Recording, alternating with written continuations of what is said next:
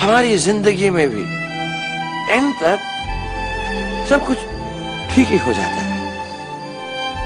हैप्पीज ending और अगर ठीक ना हो तो होती एंड नहीं।